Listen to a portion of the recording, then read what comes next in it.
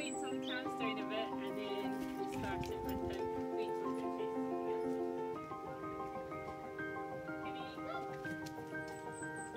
Good.